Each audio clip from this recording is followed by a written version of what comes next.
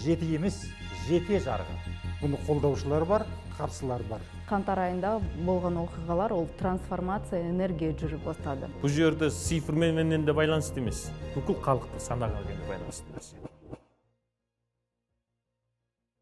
Армысыз ағайын біздің YouTube каналымызда сіздерге қызықты бір мәселені талқылайық деп отырмыз. Бұл қазіргі қоғамға өзекті мәселе жеті саны.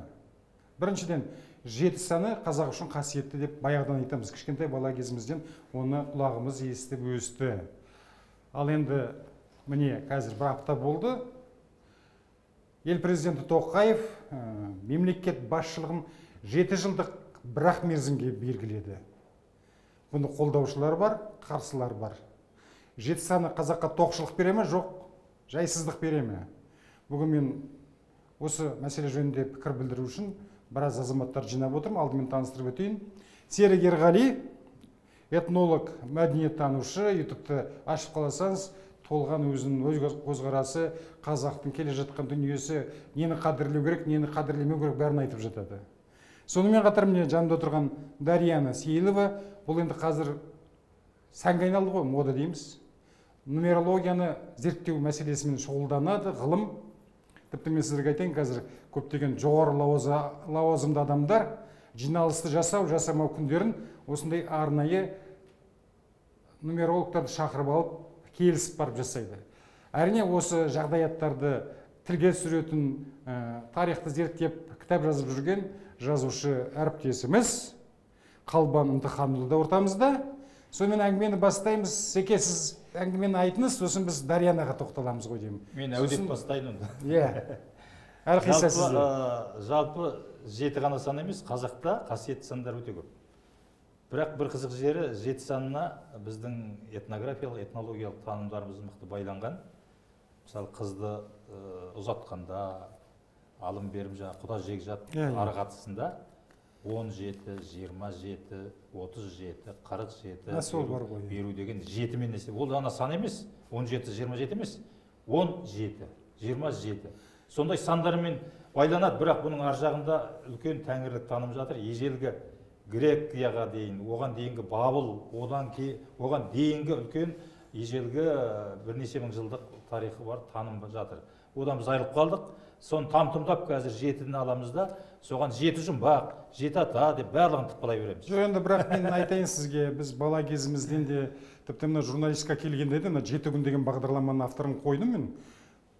Кейінгі отыз жылда телевизиядағы бүкіл бағдарламалардың аттары өзгерді бірақ жеті күн сол күйінше сақталып күнді жетіге бөлу останнан шығады. Иә. Иә. Сосын жеті деген сөздің өзі кемел деген мағынаны білдіреді. Жеті ата деген бар иә. жоқ. Жеті жарғы деген сөз жеті емес жете жарғы. Білесіздер ма? Ол бұрмаланып кеткен. Яғни кемел заң дегенді білдіреді. Конституция дегенді қазақ жете жарғы деп атаған. Иә. Одан одан асқан заң болмайды. Қалған ұсақ түйек хандар соған бағынатын ғана ұсақ түйек ережелермен өмір сүреді. Ал мынау конституция конституция дегенді қазақ жете жарғы деп бірінші естіп тұрмын жете деген кемел кемелденген дегенді білдіреді. Дұрыс. Түсіндіңіз ба? Яғни бірақ та жеті саны жеті кемелдену ол адамға тән болады. Мхм. Адам ә, мына жеті деген цифр бар ғой. Былай кәдімгі ә, көлденең сызық сосын былай қия қиялай сызады ғой. Оның барлығында мен жатыр. Мынау аспанды білдіреді. Мынау басқалдақ соған жететін дамудың жолы. Жеті деген сөз біздің қазақта бекерден бекер жатқан жоқ. Ол бірнеше мың жылдық тарихы бар этнологиялық сөз. Кәне мына дарьяна сол цифрдың мағынасын бүгінгі бүгінгі замандағы мәселесін айтып сосын ары қарай жалғастырасыз. Негізі жеті деген сан бізде рухани рухания деген энергиясы саны бар. Негізгі осы жыл 2022 жылы негізі қазақстанға жетінші жыл. Қарасаңыз қаңтар айында болған оқиғалар ол трансформация энергия жүріп бастады. Ә, соған қарамастан сюцайны қарасаңыз ә, мемлекеттің ішінде бүкіл трансформация болып жатыр. Рухани руханият әлемін көретін биыл жиырма екінші жыл сонда жетінің алға шыққан жылы дейсіз ғой иә иә? біз ә, сюцай алғашқы баспалдақ жетісі ғой. Иә біз сюцай ғылымы енді бойынша келесі жетіде не болады? Иә қазақстан ә, 16 желтоқсан 1991 қазақстан болды ғой Тәуелсіздік алды. тәуелсіздік алды. Соған қарамастан 16 желтоқсанды қосып бұрынғы жыл алты деген сан екі мың жиырма екінші жылы ол алты деген сан. Бірігіп қоссақ жетінші жыл болады қазақстанға. И бүкіл мемлекетіміз егер біз сана санамызды өзгертсек мемлекеттің ішінде трансформация жүргізсек онда көкке көтерілеміз. Ғылымы жаңағы екілерді қосқанда алты болады ғой. Иә. Соны бірді қосқанда келесі жыл жетінші жылдың басы ғой солай ал енді қалбан сіз қандай қиял э, келді миыңызға? Ол менде енді қиял көп бұл э, өзі қиялдан басталған Иә. жеті саны сонау бабилон заманында жеті цифры э, билікпенен жоғары мәртебенің символы болып басталады. Бұл жеті цифры адамзат жаралғанына енді мәдениетті басталғанына он мың жыл болды десек сол мәдениет адамзаттың мәдениеті басталғаннан бері осы жеті цифры туралы мәліметтер бар. Соның ішінде адамдардың тек қана қазақта емес жеті цифры. Көптеген ұлттарда жеті цифры әртүрлі не мағынада айтылады. Ең бастамасы сол жаңа бабилондықтардан басталса енді інжілде құдай ә, жер шарын адамды жеті күнде жаратты дейді. Соны жетінші күні табынып ә, немене діни не шара өткізеді ғой шіркеулерде соның өзі сол жеті цифрменен байланысты. Ал енді қазақта айтайық жаңа жеті шектемелікке де келеді кей кезде қазақта бір сөз бар жетіге келгенше жерден таяқ жейсің дейді. Адам жетіге келгенде барып жетіліп бала орнынан тік тұрып жығылмайтын болады. Одан кейін енді ырымдап жатады қазақта ырым көп қой. Адамдың санасында өз бүкіл жер бетіндегі адамдардың санасында бір ырым болады. Бірі бір жаратушы құдай бар деген бір сана болады. Бұл екеуі қай жерге барсаңыз да осы адамдардың миында тұратын бір сана. Сонда жаңағы жеті дегенді кей кезде айтады мына сыныққа бір ушық пәле болып жатса айтады үшке тоқтайды үшке тоқтамаса жетіге тоқтайды деп айтады қазақ. Соны жеті деген бір шектемелікті білдіріп тұрады. Ал енді одан кейін жаңағы тағы да ол бір нәрсеге бір жақтылы емес. Кей кезде бір шектемелікті көрсетсе кейбір жақсы жақты көрсетеді де жақсы нәрсеге қаратылады. Біздің қазақта жеті қазына жеті әулие деген сияқты жақсы жақтарға да қаралатын жағы бар.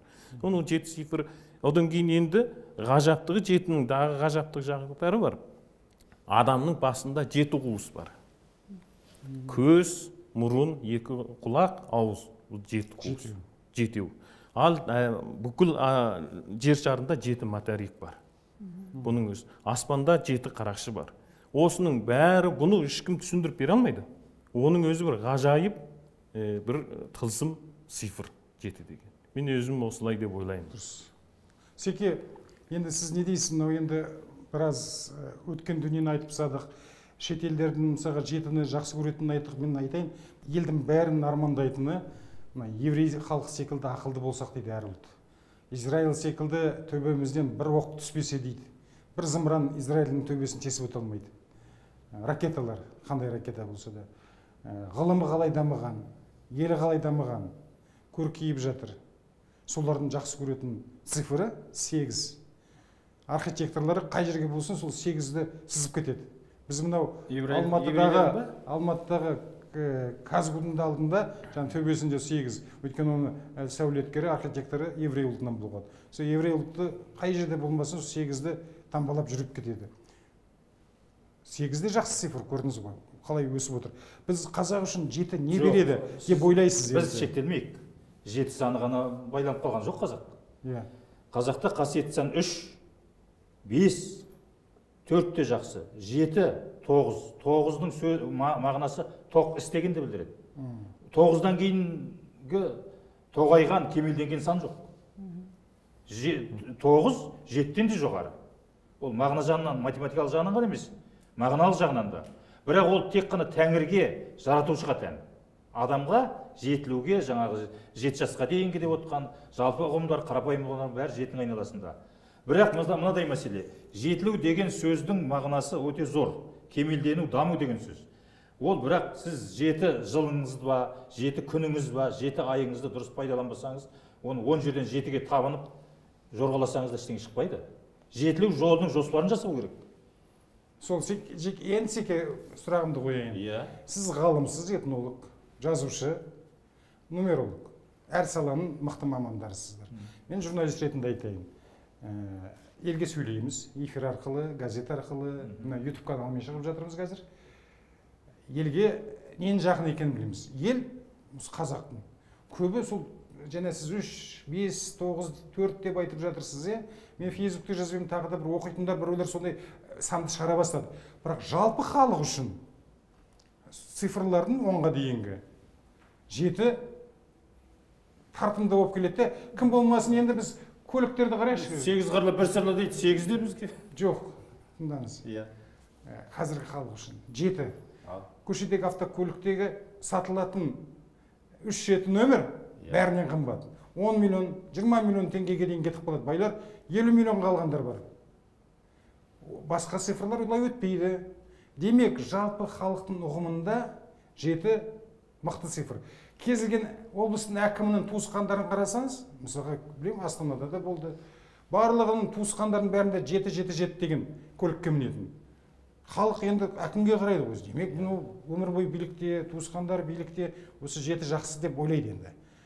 Жетінің қазақ үшін қасиеті сіңіп кеткен бірақ сияқты номерокқа сөз берсеңіз е осыны сіз оның қазір қасиеті әркімнің өзінің қасиетті саны болады қазір айтады жаңағыны айттыңыз ғой негізі тоғыз сан бар Иә. қазақ арқылы. Суицид ғылымында сондай сана сандар тоғыз ә, сана санын қараймыз. Тоғыз миссия әрбір адамның аттарын тоғыз санға да бөлеміз. Негізі қазақтың әрпінде тоғыз қасиеті біздің қазағымыз ғ ү деген тоғыз, Иә. әріп бар. Тоғыз дыбыс бар. Тоғыз дыбыс басқа кириллицаға қосылатын клавиатурада басқа бар. халықтың тілі келмейтін дауысты дыбыс қой. Енді қараңыз әрбір санның бүкіл өзінің ғаламшары бар соның энергиясы әсер етеді. Енді бір деген сан ол біздің күн стратегический деген энергиясы жүреді. Ол қозбасшылар сондай энергиясы. Стратегический. Бірінші жылдың бәрі адамдар жаңа қадам басады өмірде. Екінші ә, бізде луна деген энергиясы ол ә, әр адамның қарым қатынасқа қарайды. Үшінші деген жаңағыны сіз айттыңыз үш деген ол білім арқылы юпитерден энергиясы естеді негізі адам өзгереді тек қана екі неден үштен білім жағынан или дағдарыс жағынан. Біз өзгертеміз өзіміз санамызды өзгертеміз өмірімізді білім арқылы или дағдарыс арқылы. Негізі үш пен жеті саны именно үш пен жеті. Жеті деген ол дағдарыс кризиске ұшыраймыз сосын ғана өзгереміз. Ә, солай істейді. Негізі келесі төрт деген санымыз ол негізі раху деген энергиясы ә, инопланетная энергия. Ондай ғаламшар жоқ бізде ә, космоста да. Негізі төрт деген сан тоже трансформация бірақ ә, истинный философские знания рухымыз кім жеті атамыз кім сол төрт әріп. Көреді.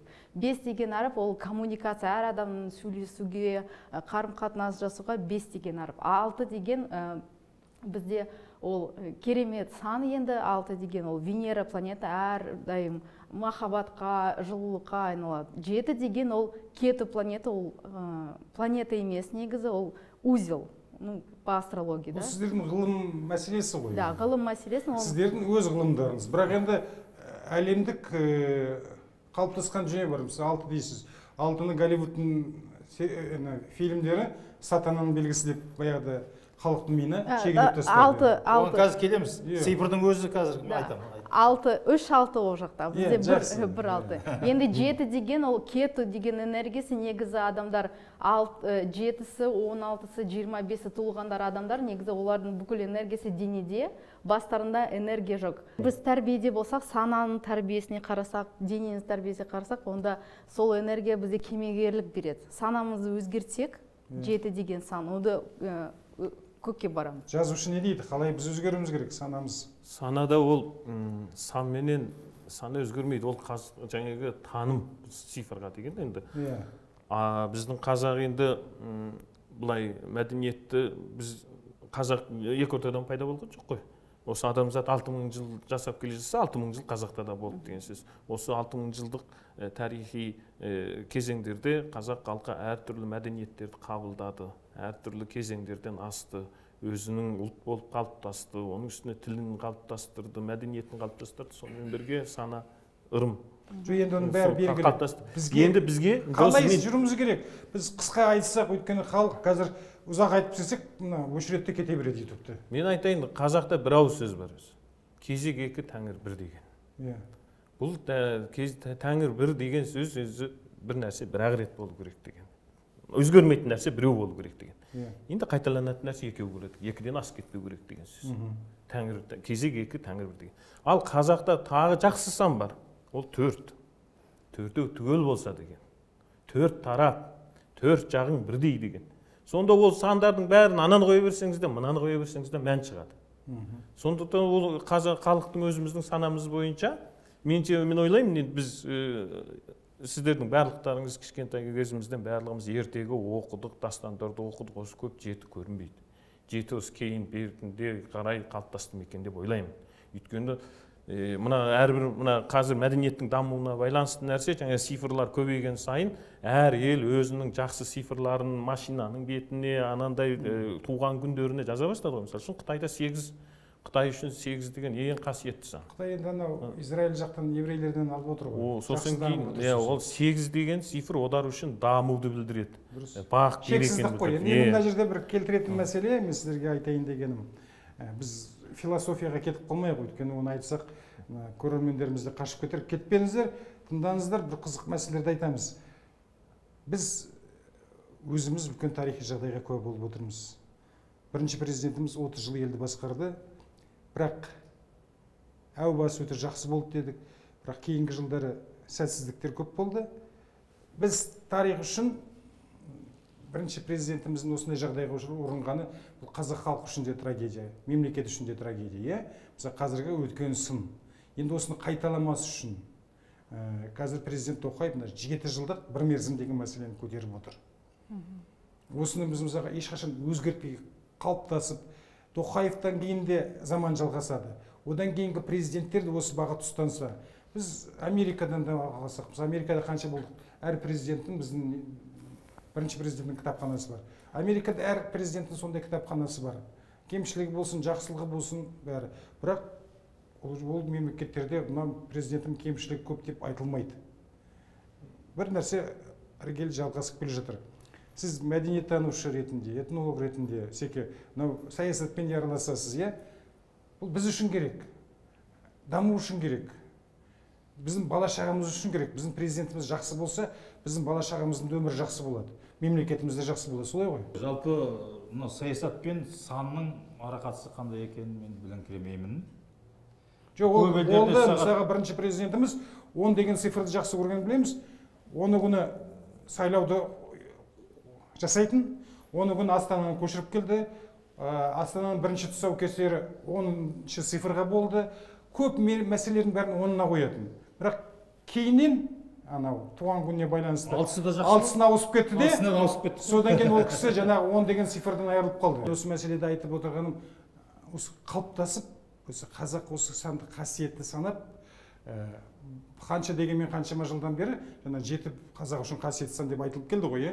Енді осы қасиетті сақтап осыны сақтау халық пен билік бір біріне ант қабылдап аха былай ғой. жеті жылдан аспаймыз деген мәселеге халықтың билігі мен биліктің билігі жымдасса Иә. жеті жыл жара- жарасатын нәрсе. Жақсы нәрсе. Ал егер басшылықты алып алып бидан алып алып жөніне кетсе ел басшы жеті жылыңыз түгел жетпіс жылда жоқ біз ә, ол енді әңгімені ашық айтайық. ең әңгіменің ең тоқ жазушы. етері бұл жерде цифрменен де байланысты емес.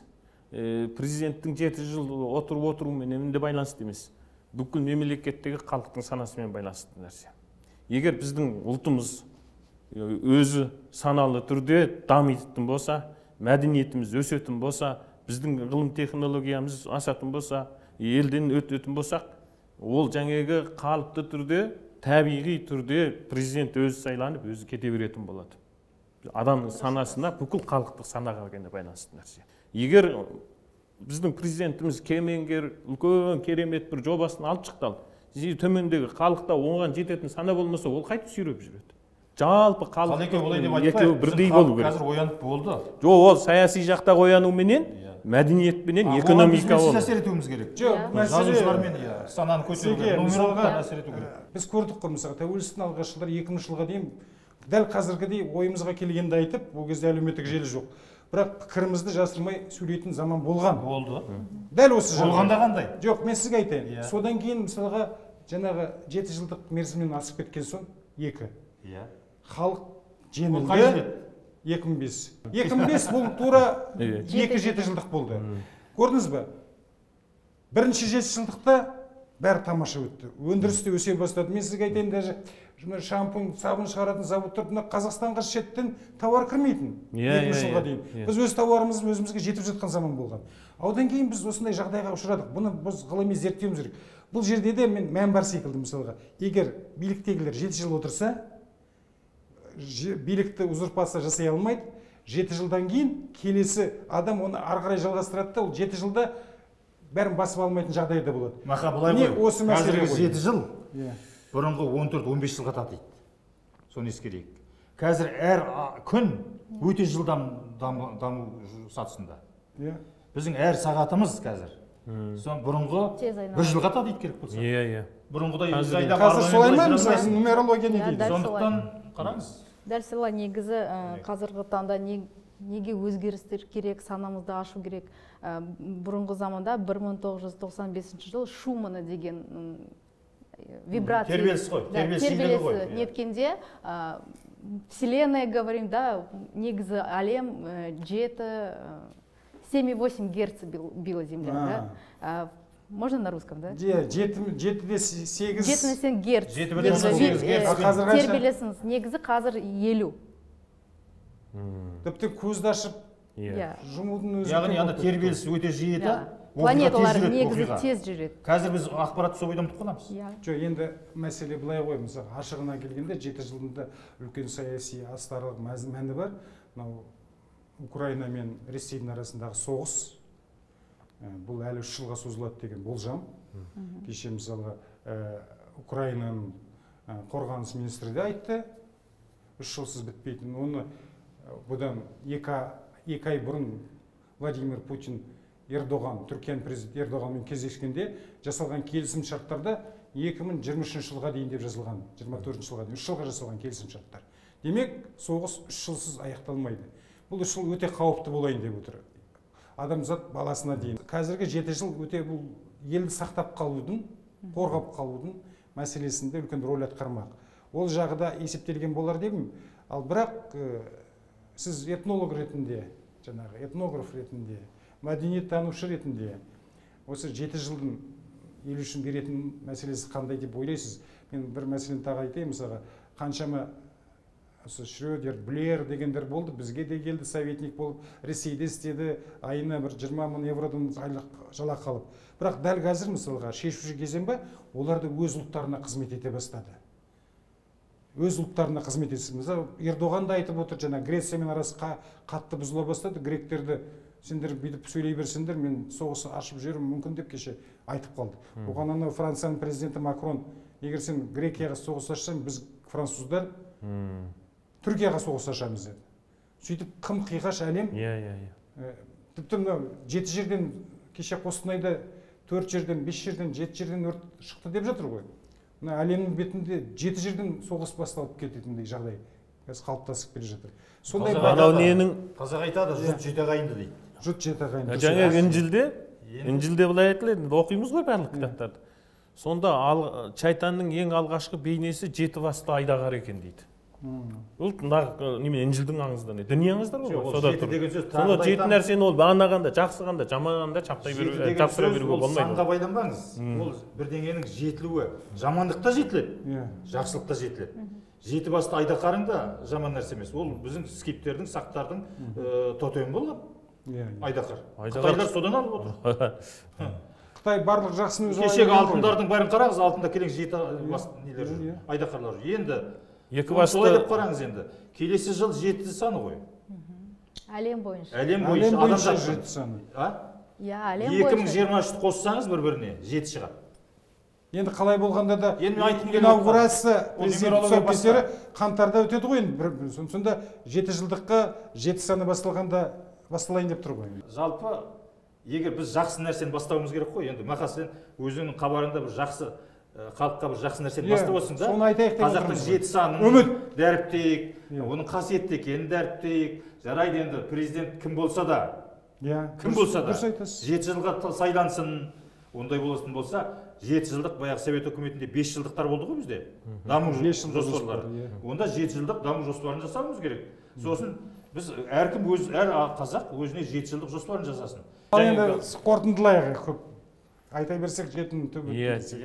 Жеті жыл айтсаң да таусылмайды бір ауыз сөзбен қорытындылайық менің айтайын дегенім ол жаңағы жеті жыл бес жыл төрт жыл емес ол өзі енді ол кісі жаңағы алып шыққан бір бағдарлама ғой енді жеті жылдықтан кейін қайталанбау керек деген. Мемлекет басшысы халықпенен бірге болатын болса халық халықты дұрыс жетелейтін болса халық халқы мемлекеттің басшысының соңынан еретін болса біз алмайтын қамал жоқ. Егер екеу екі жаққа келсе бұрынғы өлең қайта айтылады. Бір ауыздылық керек. Бір ауыздылық болды. Сіз не дейсіз? Ә, енді қараңыз ресей бойынша тоже жетінші жыл ресейдің мемлекетінің тоже жетінші жыл жүріп жатыр. Қазақстанда жетінші жыл жүріп жатыр да. Ресейге қарасаңыз соғыс дағдарыс ол Иә. мемлекет. Ал бізде біз дамытып жатырмыз. То есть ә, жеті деген энергия суицид ғылымы бойынша көкке көтерілеміз әлде дағдарысқа барамыз. Енді біз енді көкке көтерейік қазақстанымызды. Міне қадірлі ағайын келесі жылы әлем планетасында жеті деген сан алға шығады. Ол мемлекетті не құлдыратып төмен түсіреді не көкке кетеді бұл жерде мемлекет басшысы да алға бастаған. Халық та жақсылыққа жетеміз. Өйткені біз бүгінгі өміріміз біз үшін ғана емес біз ертеңгі бала шағамыз да жақсы өмір сүрсін дейміз. Өйткені біз жақсы өмір сүріп ертең ұрпақтарымыз ондай өмірді көрмей қиыншылыққа түссе онда бүгінгі біздің бір елу жылдық өміріміз жақсылықтағы. Ештеңкеге татымсыз болады тарихта бұл қас қағым ғана сәт. Сондықтан да жеті жыл жақсылыққа жеткізсін деп бүгінгі ха- хабарымды аяқтаймын. Әлі де талай кездесеміз. Егер ұнап жатса лайктап қойыңыздар. Сұрақтарыңыз болса сұрақ қойыңыздар. Ә, жақсы көп лайк болса сұрақ көп болса келесі жолы хабарларымызды жалғастыра береміз. Жақсы.